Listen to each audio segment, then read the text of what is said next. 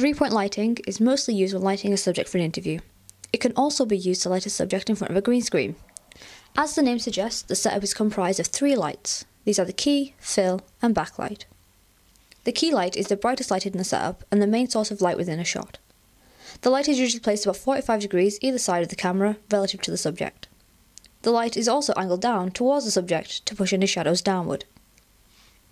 A key light by itself can create a very dramatic look. If the light is placed directly to the side of the subject, you can show conflict within a character. Placing the light above or below a subject can make the viewer feel unsettled or uneasy about the character. This is because unnatural shadows are formed on the face, which makes them look evil or sinister.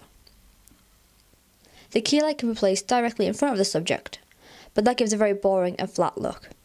The light appears to fill in shadows caused by wrinkles, but will often make the subject's face look wider.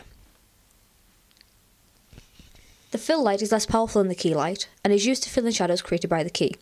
It should not, however, create a second shadow. The fill light should be the same colour temperature as the key and backlight. To avoid shadows, place the fill light further away from the subject or add a diffuser to the light. If you want a softer light, you can use a reflector or a piece of white card. Using only the fill light creates a very dark and dramatic image. The backlight, or hair light, is used to separate the subject from the background and give the image depth. Having the light in shot will create lens flare. This can look cool but is generally not wanted. You don't want the backlight to be too bright or you'll get light spill. To avoid this, use lights with barn doors or a diffuser. When used alone, the backlight can create a silhouette of the subject, making the facial features of the subject indistinguishable. This is useful if you want someone to stay anonymous in an interview.